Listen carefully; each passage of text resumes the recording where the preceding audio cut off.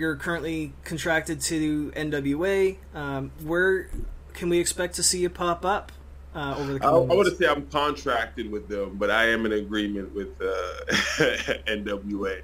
Um, so whenever they call, whenever they call me, because my schedule, because I'm also still an independent contractor, so my, uh, so when they have shows, if I don't have a, sh- you know, they got to make sure that my my dates don't conflict with their schedules. Mm.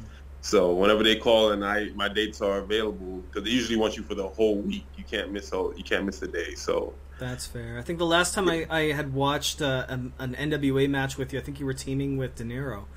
yeah, and he's now in uh, Impact. Is he back in Impact? Good for him. Yeah. I well, I mean that that means there's a clear path for you now. When are you going to dethrone Tyrus?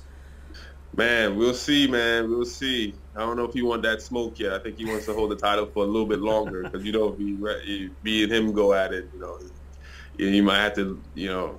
I think I think you'll find the internet will blow up if you take that title off of him. yes, uh, uh, I'll be a big baby face. Absolutely.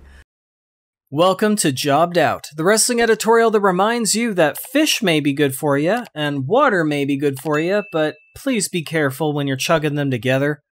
Brooklyn, Brooklyn. While I was putting together my episode on the WWE MTV Silent Library crossover, I had the opportunity to sit down and chat with one of its participants, former WWE superstar and one half of Cryme Tyme, JTG. During our half hour chat, not only did we talk about his time on the show, but also his start as a pro wrestler, the state of tag team wrestling as a whole, the importance of wrestling stars branching out to the mainstream, and the legacy of his friend and tag partner, the late great Shad Gaspard.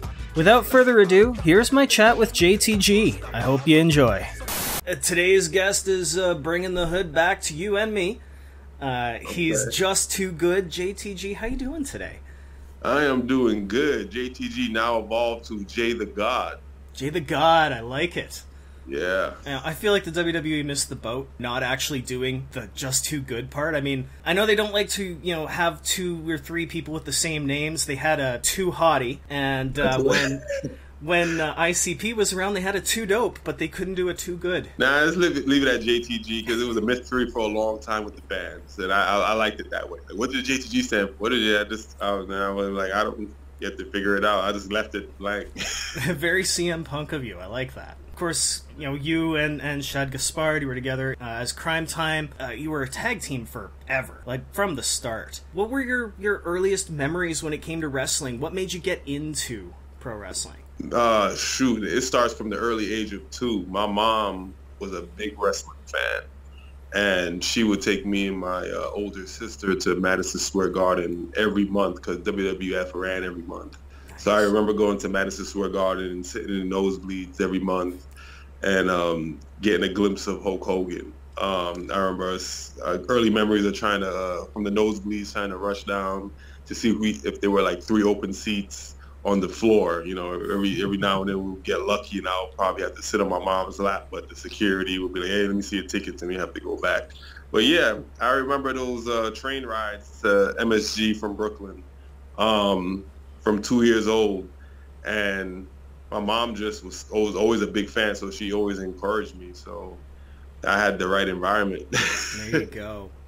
Yeah, you had a lot of encouragement in that sense. Was uh, was Hulk Hogan the one, or was there somebody that made you just go, "I want to do this forever"? I think I think as, as you as you get older, you go through stages. Like for me, as a as a as a toddler, it was Hulk Hogan. He did it for me, and then I was as I was becoming like I think around six, seven, eight, around seven or eight, it was uh, Bret Hart. And Nice. I, I was a Bret Hart, uh, diehard Bret Hart fan for a long time. And then The Rock came along. Then you had your Jeff Hardys and your RVDs, you know, Chris Benoit's, Jericho's. But I think my foundation is, uh, no pun intended, is uh, Bret Hart's. is You're not the first New Yorker to tell me that. Uh, well, I guess the other guy was, you know, part New York, part Connecticut, but just incredible. His start was the Hearts. He Yeah. and uh, for him, you know, he just saw a promo for uh, Bruce Hart's uh, training school in a magazine, and he decided to head north. You decided you decided to go. Uh, at least you know the the documented history of it is just you appeared in Ohio Valley. But did did you like was OVW your actual first start, or did you you know pick up a school before then and kind of move into? Yeah, I picked I picked up a school before OVW. I was there for like maybe six months. It I, I went there right after high school. Um, I was still 17 when I graduated high school, so I had to wait till December to get into the ring when I turned 18, and that was in um, in uh, North Carolina. I'm trying to remember the exact city. It wasn't Charlotte. I lived in Charlotte, but it was about 45 minutes to an hour away. Okay. Um, but uh, yeah, anyway, I moved to Charlotte. I had family there, and I went to I, I was trained there for about six months. You know, the trainer was kind of iffy. You know, he wasn't. You know, he sometimes just dropped me off at the ring, and the other guys who were at the ring were kind of like showing me how to hit the rope and like, "Where your trainer at?" I was like, "Oh, he just dropped me off." Like, "You paid him?" I'm like, "Yeah, he's supposed to be here," and there was just a lot of confusion. I was like, "I need, I'm taking this serious," and uh, I kept hearing about OVW because I would go to the uh, to the independent shows in the area, just you know, show my face and get acquainted with the uh, with the business.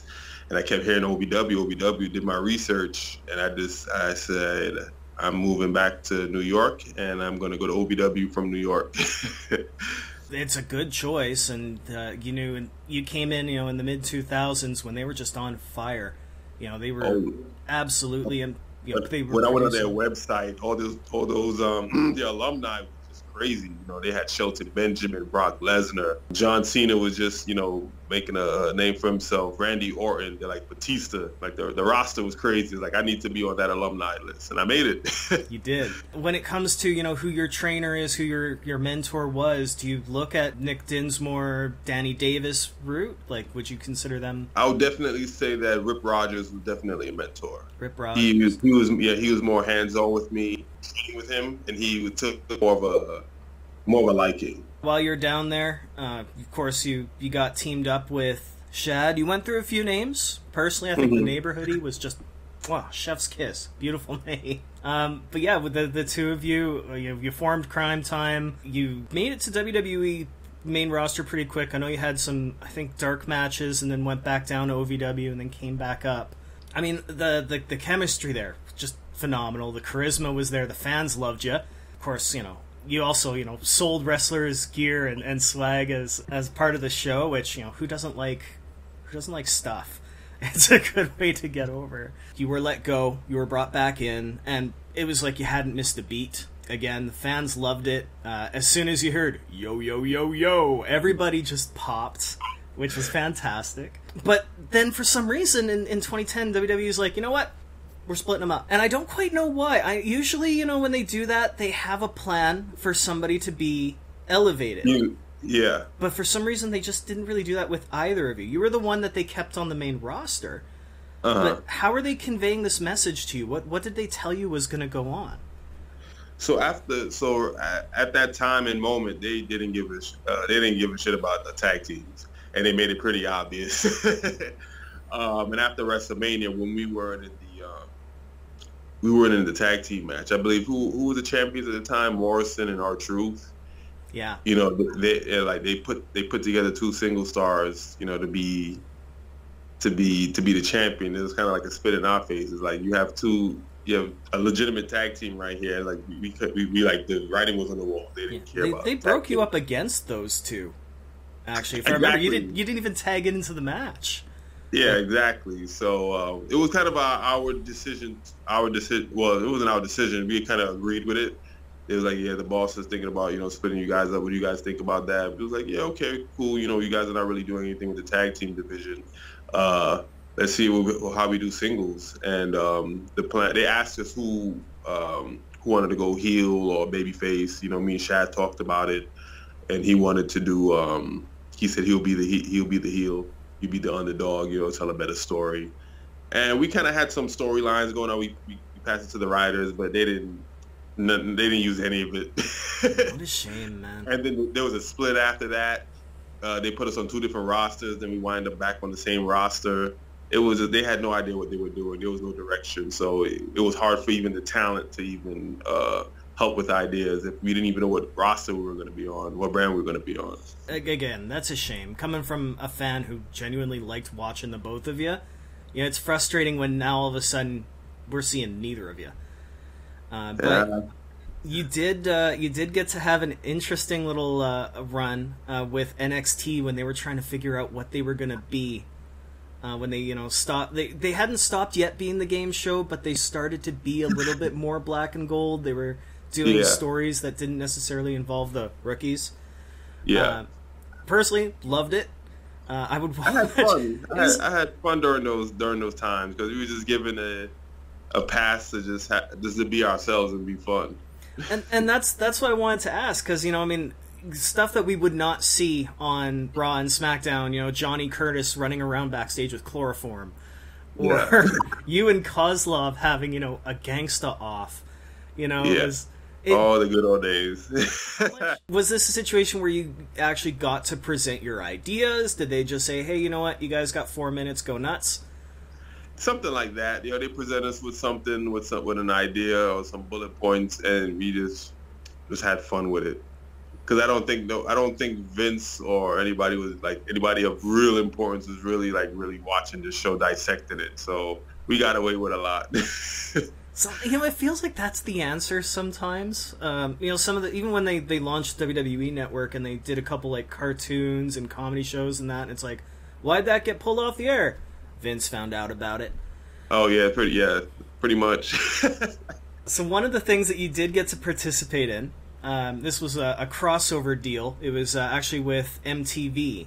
Uh, it was yeah. uh, Silent Library, which you know, it was a game show where they punished people more than they rewarded people.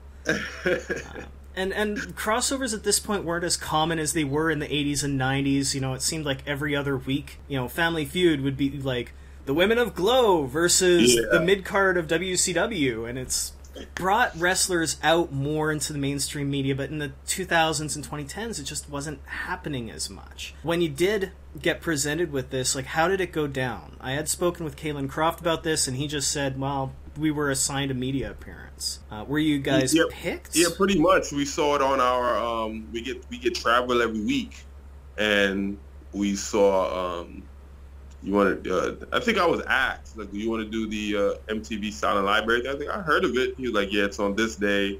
You got to do it blah blah blah." I was like, "Yeah, I'm down." And it was after a um, live event. Uh, I remember me and Dolph I think it was from Boston and we they put us in a limo. We drove from um from Boston to New York in a limo. We stayed in Times Square, and um, they took care of us. Had, it- it- I had a great experience working with MTV. Well, until the until the cameras rolled. Yeah, the the production part, the stunt itself. But the thing, I was lucky. I was lucky because they had. I, I was. I didn't draw any. Um, what you call it? I didn't flip over any of the. I Uh, was saying the physical, the physical ones is what I I had noted because at least the one that aired for you was more of a gross you out kind of challenge. Yeah, because I, I could they couldn't get me to flip over uh the one to do the stunt to do the um, what you call it the stunt. Everybody else was draw. I was the I was um I think the last one, but the way they cut it and put it on TV, they, they you know they mixed it in. But yeah, he's like, no, everybody else got a stunt, but you didn't get one. So uh, if you notice, I only did one uh did one That's- prank. that's an that easy was, and that payday. was I the was- worst one. That was the worst one. I had to drink uh, fish water. Ah, yes, that- baby that was- fish that, that mouth, was yeah, which- that was that was a legit fish. Very lucky that didn't end up becoming a nickname for you because Baby fish mouth. I mean, let's face it, fans would chant that right now if they could. Yeah, yeah, yeah. That, that doesn't have a ring to it. I could see the merch. Baby fish mouth. So I mean, they always note that there's there's challenges that you know didn't make it to air. Were you like just on a wicked like it's time to go to the casino after this streak? Like you just weren't getting any challenges at all? I wasn't getting any challenges. That's yeah, that's not the word I was looking for. I wasn't getting anyone, and then um, they were like, they fixed it. They were like, all right, come on, we gotta. And I'm like, all right, I'll pick this card, and then I flipped it over. Oh, I had that surprise, like, oh, it's mine. I got to do the, the, the fish water, but I didn't know I was doing the fish water. You were But so when I- confident on that one too. You Man. pounded the fist. You you were gonna take this down, and then I don't know if you know lips touched lips or something. Yeah, because for some reason I thought it would have been kind of a. I didn't know it was gonna be real. I thought they would have doctored it up a little bit because it's for TV. They would have have real talent drinking fish water, but yeah, they they did. Are you a seafood guy?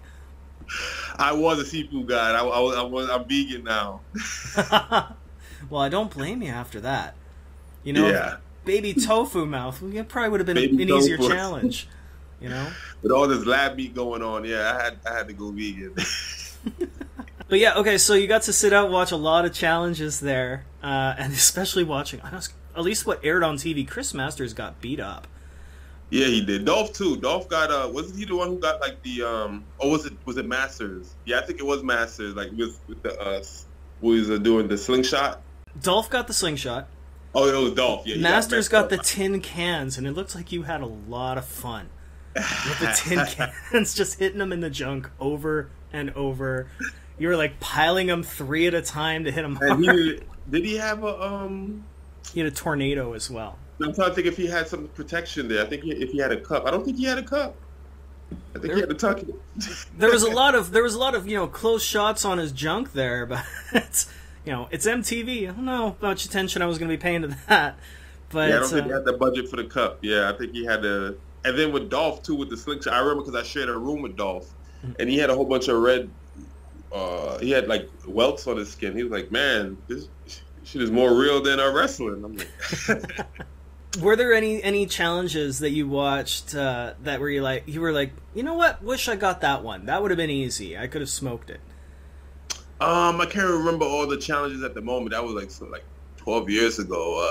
Uh, if you bring it to uh, bring some time, there were one. There, there were some that I knew that I was like, man, I could, I could definitely do it. But I can't think of it right now off the top of my head. The tornado one that Masters went through I don't think anybody would have wanted to go through that. Whereas like the, The the, the, cotton tornado with a bunch of debris that would be smacking you upside the head, and you had to stand in that. no, we definitely don't want to do that one. Uh, not the one that Dolph did, the uh, the slingshot one. Um, which other one? The baby fish water. Would I had to, I wouldn't do that again. No, I don't think I have the mental. I, I I don't have the. I'm still not there yet. I think Trent was the one that got fed by a giant bird. That one looked equally as disgusting. Yes, that bothered me for a while. That was very disturbing. Um, did- yeah. Ooh, dang, why you even put that image back in my head? Uh, I forgot all about it. I buried that. Sorry, man. And I was going to ask you if you had a clue what it was. He did say that was dis- that that was disgusting. He was he he him he himself was disturbed by that. that that was uh, for for an ordinary person like that show.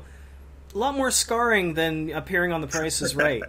You know, if you put Brian Kendrick on both, I think he'd prefer to just stick to Price is Right.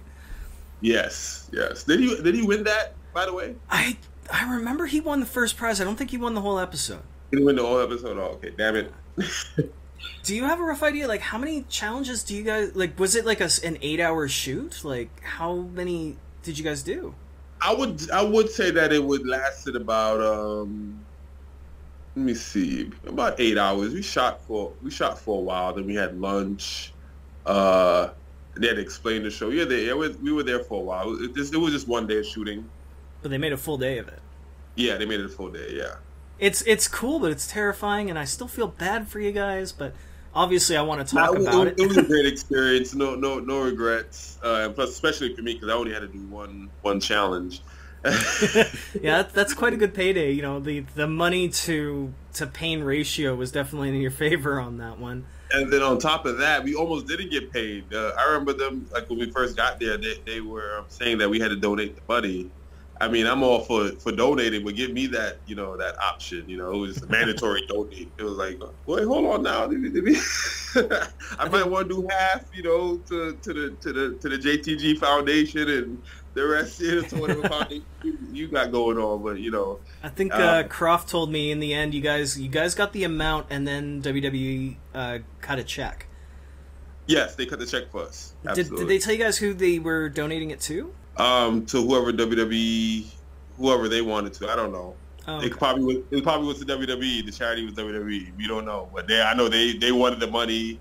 They let us know that, right? and then we had to be like, nah, hold on. And we actually, and then we were able to uh, get our checks made out to us.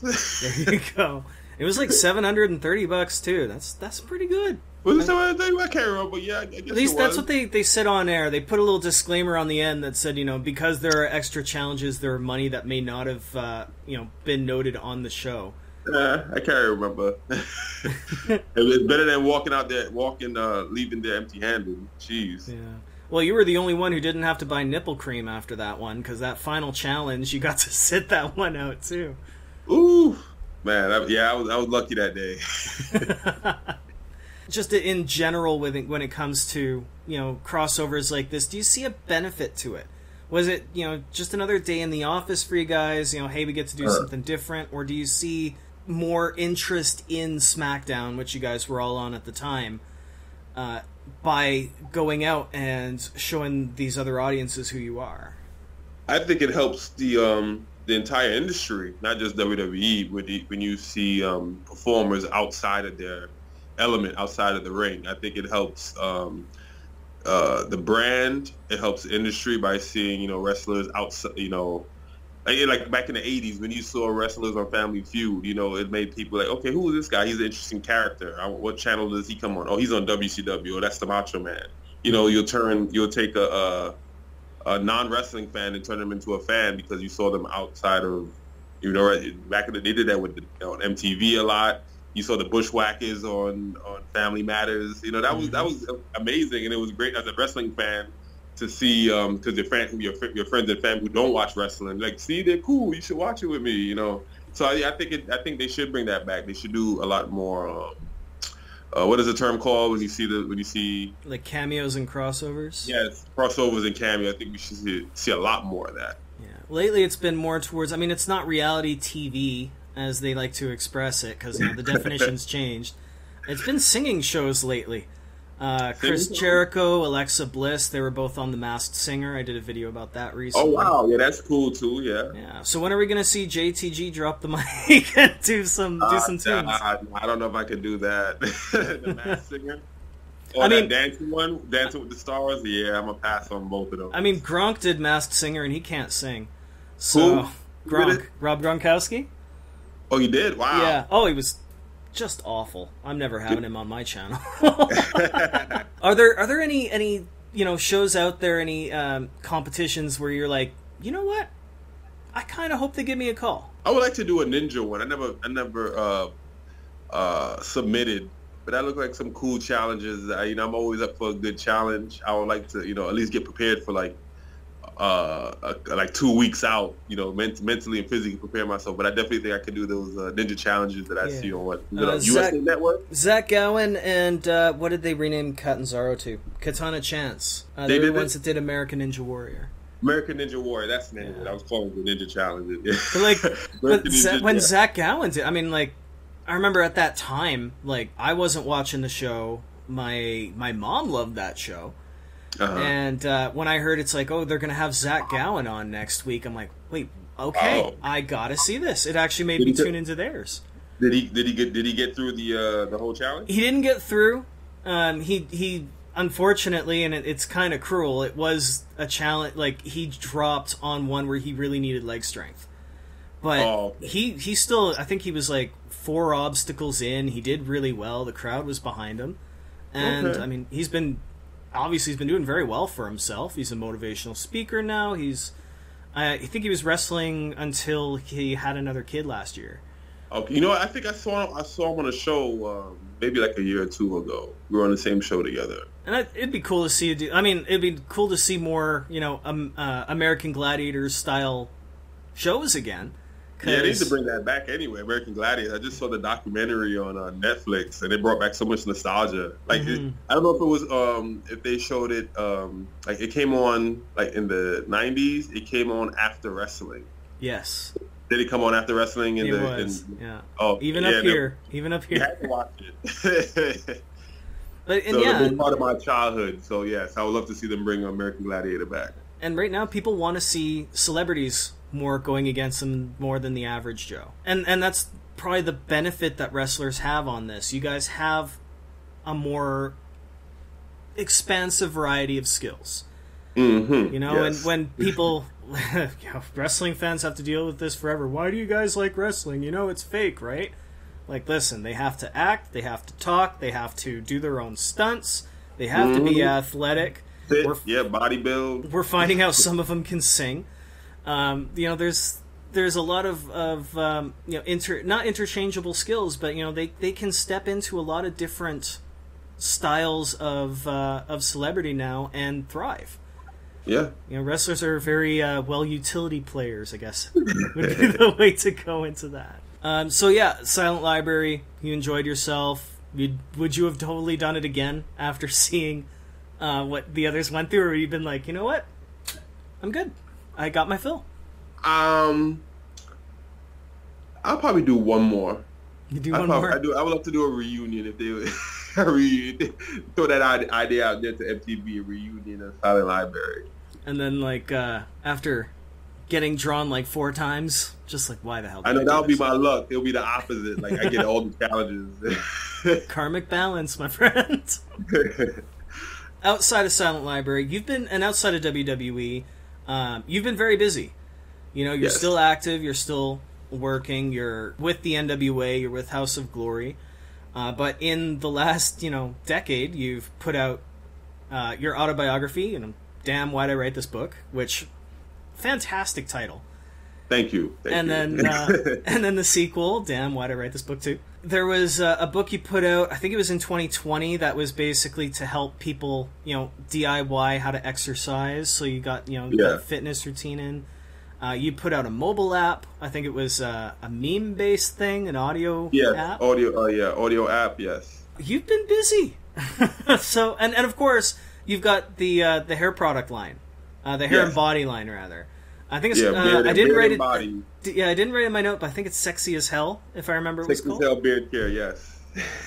So, ha- I mean, what inspired you to branch out, you know, this much? Because, I mean, these are not businesses that tie together, you typically. Yeah. Um, so I started my beard journey. I see you has a, you have a wonderful beard yourself, and you know. I feel like it needs work. I was making my own products for my own beard. I was getting a lot of compliments. I, you know, and then um, somebody told me that I should sell it. You know, but it didn't have any scent or anything to it. But you know, I got together with somebody who who who does um, who did um, hair products, and we put our brains together to make it more marketable. And then Sexy as Hell Beard Care, and then that branched off to um, not from from beard, then it went to skin. Why not have your beard scent matching with your with your body? Then it went from body to hair. So we just went. I just started doing um, skin, body, and hair. And then during COVID, I uh, came up with an idea for uh, testosterone boosting sea moss. And then I started uh, selling that because my buddy uh, told me that it was it was a great idea. You have to have good friends around you to encourage you.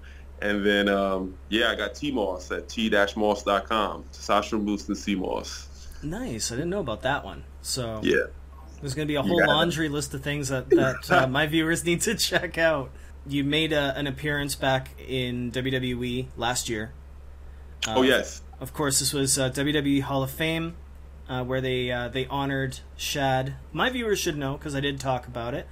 Uh-huh. Um, you know, he he passed away in 2020, saving his son.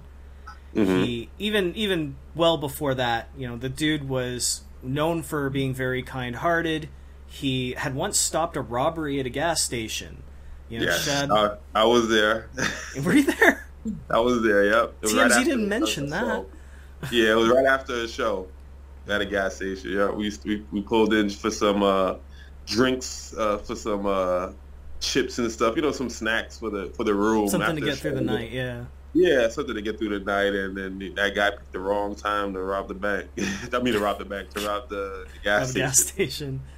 Um, but yeah, I mean the the dude, you know, again, he was always willing to put others first. I know you'd said even to uh, uh, Chris Van Vliet um, when you were going through a rough personal patch.